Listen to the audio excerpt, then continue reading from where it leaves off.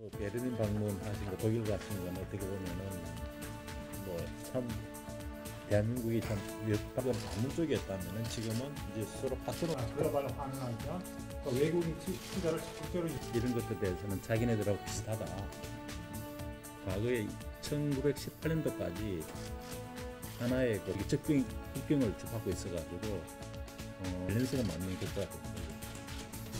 자기네들이 지금 안 하고 있는 게 전자.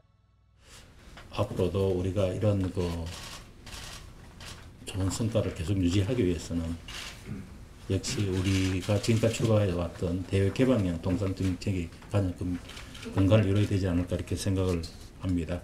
근데 아시는 바와 같이 지금 뭐 어, 양자 간 FTA가 전 세계적으로 벌어지고 있고 또 지역 간 지역 경제 통합 논의도 아주 활발하게 진행되고 있습니다. TPP든 또 RCEP든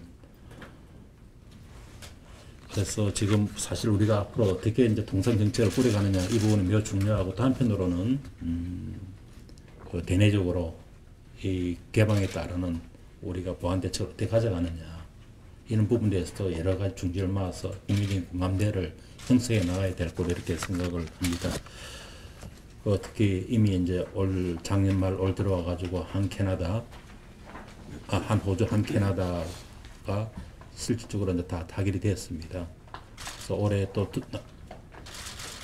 올 연말까지도 보면은 뭐 한중 FTA든 또 한 베트남 FTA, 그다음에 TPP, 쌀 관세와 여러 가지 이슈들이 이제 어, 있습니다.